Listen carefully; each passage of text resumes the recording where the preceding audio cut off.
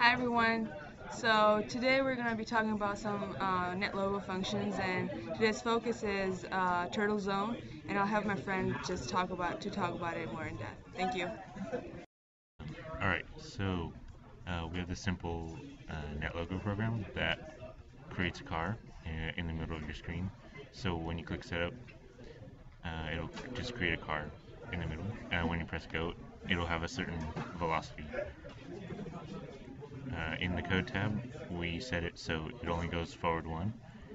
And um, so turtles-own, you can basically assign uh, a different variable to uh, a specific turtle, like uh, energy, velocity, um, any kind of variable that you want to implement to your turtle.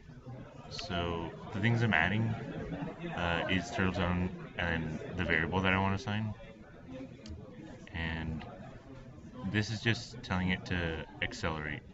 Uh, so every 0.1 seconds, we're going to ask the car to uh, set its velocity to velocity plus 0.1.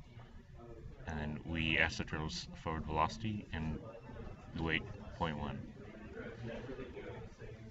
So I created this monitor that um, you could see the velocity, and when we click go, we can see that it accelerates.